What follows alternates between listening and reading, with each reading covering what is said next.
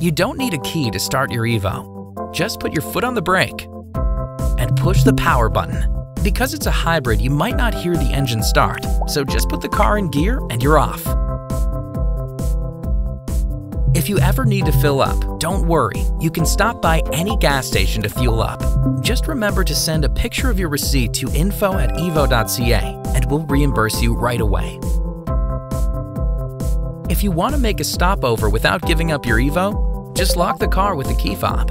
You can stop over anywhere and for any amount of time. Just remember, stopover time counts as part of your trip. So what are you waiting for? Let's hit the road.